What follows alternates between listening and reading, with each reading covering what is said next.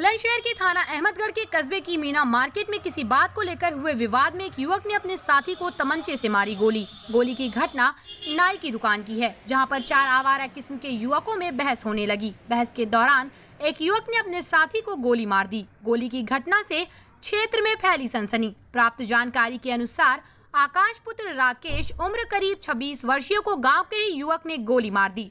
गोली सीने में लगने से युवक गंभीर रूप से घायल हो गया, जिसे आनंद फानन में थाना पुलिस ने जिला अस्पताल पहुँचाया, जहाँ से युवक की गंभीर हालत को देखते हुए डॉक्टरों ने हायर मेडिकल सेंटर रेफर कर दिया है। जिस युवक को गोली लगी है, उस पर कई गंभीर मुकदमे दर्ज हैं। वो शातिर किस्म का अपराधी है और उस पर गुंडा एक्ट भी लगा हुआ है।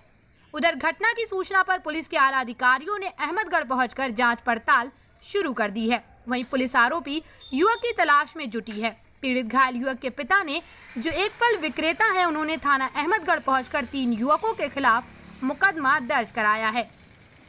बुलंदशहर के थाना अहमदगढ़ पुलिस ने एक आरोपी को गिरफ़्तार कर लिया है और तीनों आरोपियों की तलाश तेज कर दी है। और पंकज काय बात पे मारी गोली? ये चांदी को लड़का है। अच्छा। हैं, लगन वो अच्छा। वो तो से जो अच्छा और कौन कौन ने मारी गोली? गोली कौन ने मारी? भूपेंद्र ने। और कौन हो साथ साथ? बता दे जल्दी। कल शाम के समय आकाश नाम का एक लड़का जिसकी उम्र लगभग 24-25 वर्ष के आसपास है उसको गोली मारी गई है। उसके साथियों द्वारा गोली मारी गई। ये चार लोग जो चारों आवारा किस्म के हैं, एक साथ इकट्ठा थे एक नाई की दुकान पे। आपस में बातचीत के दौरान इनमें बात बढ़ गई और इसको गोली मार दी गई। उल्लेखनीय है कि जिसको गोली मारी गई है, उसके खिलाफ तीन मुकदमे ऑलरेडी दर्ज हैं, जिसमें एक लूट की योजना बनाते समय असलहों के साथ गिरफ़्तार किया गया था।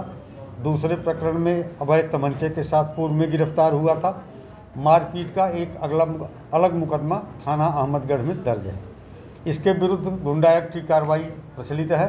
नोटिस इसको इशू हो चुकी है और न्यायालय में चल रही है। फ़िलहाल एक अभियुक्त जो नामित है, गिरफ़्तार कर लिया गया है। शेष तीन अभियुक्तों की गिरफ्तारी के लिए प्रयास किया जा रहा है।